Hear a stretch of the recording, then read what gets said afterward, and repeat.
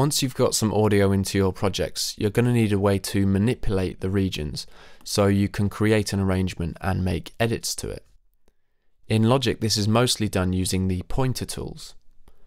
Some of them have to do with moving and slicing up regions. Others help you navigate and change your view of the arrangement, while still more help you work with automation, which is a topic we're going to look at when we come to mixing. I'm not going to go through all of the tools right now, just a few of them. We'll encounter some of the others as we progress through these tutorials, and I'll explain them as I go. You can change the active tool using this menu in the top right of the arrange area. The left hand tool is your default tool, and the right hand tool shows the alternative tool, which you can use at any time by holding down the command key. So as you can see at the moment, my default tool is the pointer, and my alternative is the marquee tool. However, using those menus is a relatively slow way to change the selected tool. Remember that you're likely to be switching tools hundreds of times in each project. So here's a quicker way that's worth practicing. If you hit escape, the list of tools will be brought up next to your pointer for quick access. To speed things up even more, you can hit a number or letter key once you've done that to select a tool.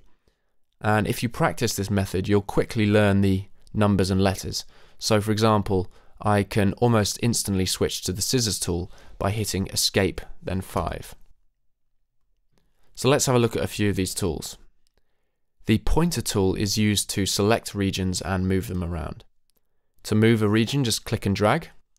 And as I move it, you'll notice that the region snaps easily to bar lines and other musical divisions. You can change the snapping behavior with this menu at the top right.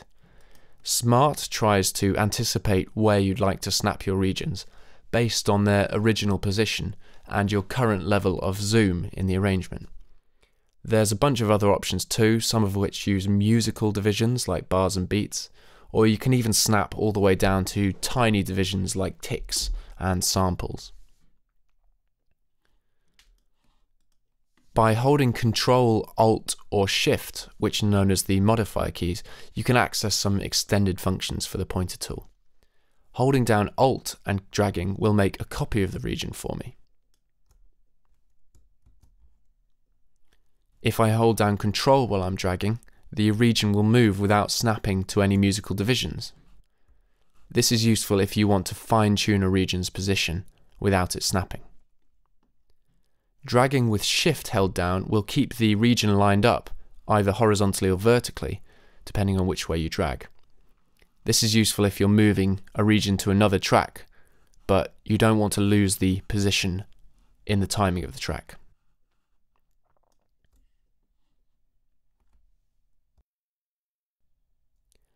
The pencil tool is used to create empty MIDI regions. We're going to look at MIDI in the coming video chapters, but all you need to know for now is that MIDI data is contained in regions, just like audio data. If you want to start programming MIDI in from scratch, the first thing you'll need is an empty region, which is exactly what this tool provides. The eraser tool deletes regions, although the same thing can be accomplished by simply selecting with the pointer tool and hitting backspace. The scissors tool divides regions up into smaller pieces.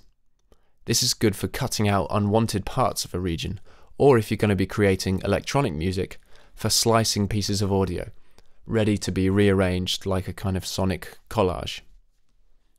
If you hold down the Alt key, the region will be sliced into equal sized pieces, and each piece is the same length as the distance from the start of the region to the first cut. I often use this to cut up audio into slices, each a beat or a bar long, ready to be rearranged or otherwise edited. The final tool I'd like to show you is the zoom tool.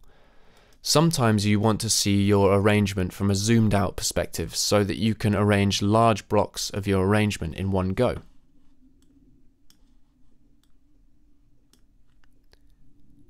But sometimes you'll want to zoom right in to see the details of a waveform to make appropriate edits.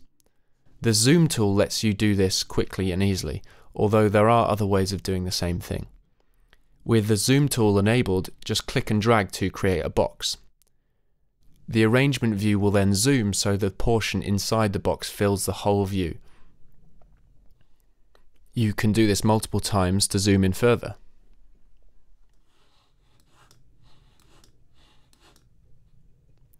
Then simply click to zoom out back through the zoom levels you saw previously. You'll find yourself using the zoom tool a lot, so you might be interested to know that it has its own special shortcut.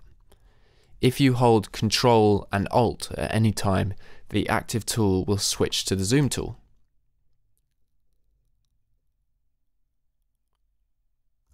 This way, for example, if you're doing some edits with the scissors tool, you can quickly switch to the zoom tool, zoom in, back to the scissors tool to do your edits, and back out again all without having to use the pointer tool menu. You can also adjust horizontal and vertical zooms using the edges of the scroll bars and the sliders at the bottom right of the arrange page. In general, I find both those methods much slower than the handy Control Alt zoom tool method. You can also hold Control Alt and use the keyboard arrow tools to zoom horizontally and vertically. You should practice switching between and using the different pointer tools as much as possible. If you learn to use them efficiently, you can really speed up your workflow. And trust me, the faster you can access and use these basic functions, the more time you can spend being creative.